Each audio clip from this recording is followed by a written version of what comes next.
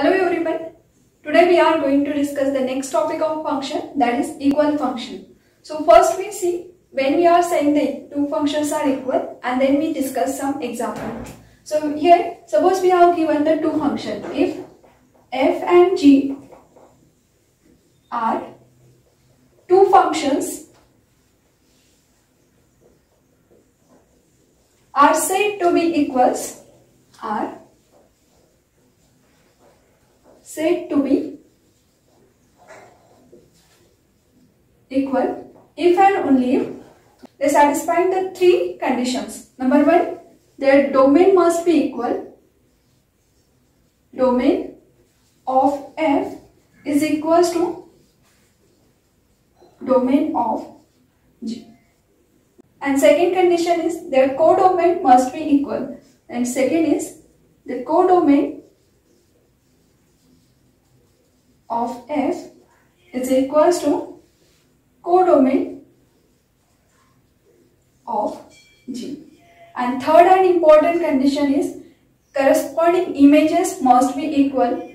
So here the third point is f of x is equals to g of x for all x belonging to D. D.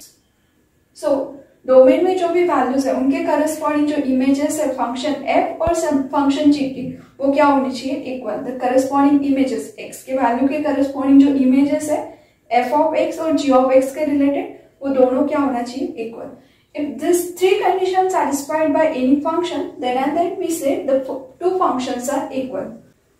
And here this condition is doesn't mean that exactly f of x को जिस type से define किया है same way से यहाँ पे g को define करना। मतलब एफ़ ऑफ़ एक्स अगर मैंने x स्क्वायर लिखा है तो it doesn't mean that g of x को भी आपको x स्क्वायर लिखना है, तभी वो फ़ंक्शन इक्वल हो गए ये इसका मीनिंग नहीं है। यहाँ पे f of x equals to g of x for all x belongs to D it simply means that the domain के जो वैल्यूज़ है एक्स की वैल्यू अगर आप कोई उठाते हैं तो उसके करस्पॉन्डिंग एफ़ के रिस्पेक्ट में जो इमेज आएगी सेम इमेज आपको जी के रिस्पेक्ट में मिलना चाहिए। अगर ये होल्ड होता है तो then we can say the functions are equal Let's see the one example related to this point. Suppose we are given the function f mapping from set a to b and function g also mapping from set a to b.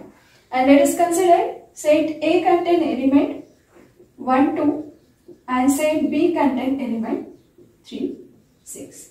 And we are defining the function f such that f of x equals to x square plus 2 and g of x equals to 3x. So from this example, it is clear that f and g define on same domain and here their codomain is also equal. So first two condition already hold it. Domain of f is equals to domain of g, codomain of f equals to codomain of g. Third condition क्या है इनकी corresponding images सो so, देखो x की value अगर आप one put करते हैं इन function f. So here f of 1 is equals to we get 3 and here put x equals to 1. g के अंदर अगर x की वैल्यू 1 पुट करते हैं तो g के करस्पॉन्डिंग भी क्या आएगा 3 that means for x equals to 1 g of 1 is equals to f of 1 is equals to 3. अब next value of domain is 2. If we put x equals to 2 then here f of 2 is equals to here put x equals to 2 so it is a 4 plus 2 6 is equals to. Put here x equals to 2. So 3 into 2 is again a 6.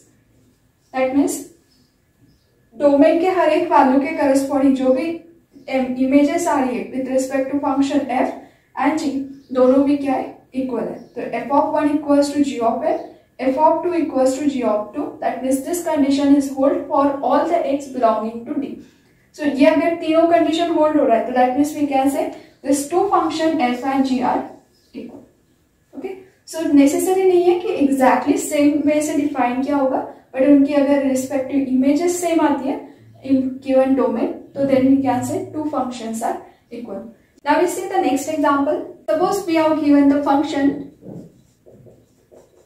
let F is a function mapping from set of positive real number to set of R defined by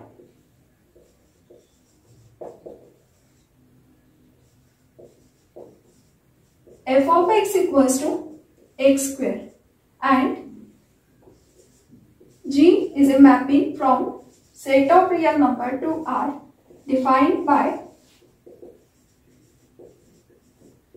g of x is equals to suppose it is again a x square. Now see here f of x equals to x square g of x equals to x square. It doesn't mean that f of x equals to g of x. यहाँ पे भी हम ये नहीं कहेंगे कि given functions equal है भले ही इनका जो डिफाइन किया हुआ वे है वो कैसा है same why because their domain is different अब डोमेन डिफरेंट होने से क्या फ़र्क पड़ेगा domain if domain is different so here if we find the image of 1 f of 1 के रिस्पेक्ट में ये आएगी 1 it is equivalent to image of 1 in function g. अब g और f इसके रिस्पेक्ट में 1 की इमेज है अगर आप जी की g के रिस्पेक्ट में टू की इमेज निकालते हो so using function G it is a four और अगर आप एफ़ के रिस्पेक्ट में निकालोगे तो it is again a four so इसे पॉजिटिव रियल नंबर के लिए कोई प्रॉब्लम नहीं. But if you are taking the minus 2, so here g of minus 2 is equals to 4. What about the f of minus 2? f of minus 2 does not exist. क्योंकि ये function कहाँ पे define होता है एनी फ़ंक्शन अगर हम लिखते हैं F of X equals to X square so उसके डोमेन के पॉइंट जो रहता है, उसी के करस्पॉन्डिंग वो इमेजेस देता है अगर हमारे डोमेन में माइनस टू है ही नहीं तो वहाँ पे उसकी इमेज भी नहीं आएगी मतलब अगर हम एफ़ ऑफ़ माइनस टू की बात करते हैं तो ये function is not defined on negative point so ये नॉट एग्जिस्ट अगर इमेज एग्जिस्ट ही नहीं है तो यहाँ पे इक्वल भी नहीं आ सकती।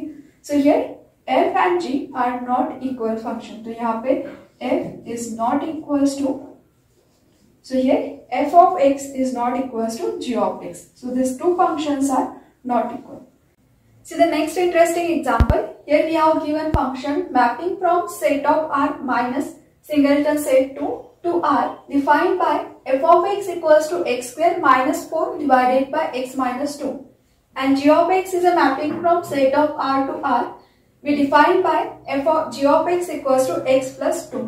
Now see here what is R minus 2?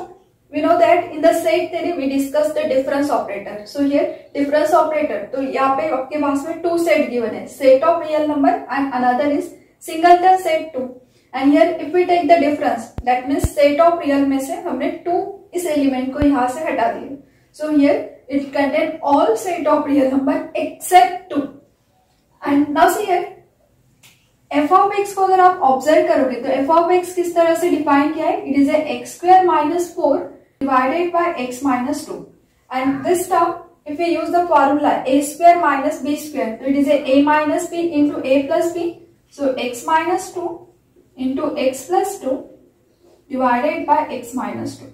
मतलब एक्चुअली हम ये कह सकते थे कि इस फ़ंक्शन को कहाँ पे प्रॉब्लम है? टू के ऊपर। बिकॉज़ डिनोमिनेटर अगर ज़ीरो हो गया this function is not exist so इसी के लिए ये टू यहाँ से हटा दिया है। सो ओके बट अगर इसको थोड़ा सा आप सिंप्लीफाई करोगे तो ये ये क्या होगा? रिमूव हो जाएगा यहाँ से। That means F of X equals to क्या हो जाएगा? एक्स प्लस टू और जी ऑफ़ एक्स तो ऑलरेडी एक्स प्लस टू के फॉर्म में लिखा है। G of X equals to it is X plus two so obviously अगर एक्स की कोई वैल्यू यहाँ पे f और g इनमें पुटअप करोगे तो करस्पॉन्डिंग इमेजेस क्या होगी? सेम आएगी। But still we are saying this function F and G is not equal why because their domain is not same. It means that it is exist, g is exist for all the real number. But यहाँ पे F की अगर बात करते तो F is not defined at point two अगर function defined नहीं है तो उसके करस्पॉन्डिंग इमेज नहीं आएगी. सो एट पॉइंट टू के लिए हम ये एक्स इक्वल टू टू पे हम इक्वल चेक नहीं कर सकते, जो कि पॉइंट है जी के डोमेन का but not the point of I think concept of function is clear many important topics of function we will discuss in the next lecture thank you like share and subscribe.